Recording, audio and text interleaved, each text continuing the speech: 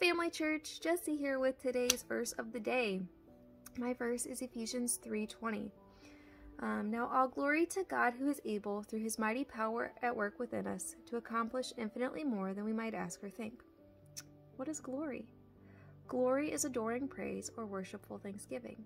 So Paul's saying here that we should give God all of our adoration and that we should be just so thankful and praise him and worship him for all of the things that He's done for us, for all of the things that He's done around us, for all of the things that He does through us.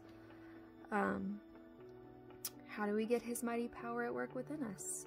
By talking to Him, by having communication. Um, his mighty power at work within us is His Holy Spirit, and His Holy Spirit talks to us, so we need to talk back. We need to have those communication lines open. God created the universe and our imaginations, so He can do so much more than we can think or imagine. Did Sarah think she could have a baby at 90?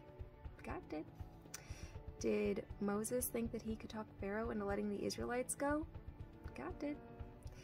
Did Peter think that he could walk on water? Jesus thought so. Without communication and relationship with God, none of those things would have been possible. Um, did you think you could get through your roughest moment? God did.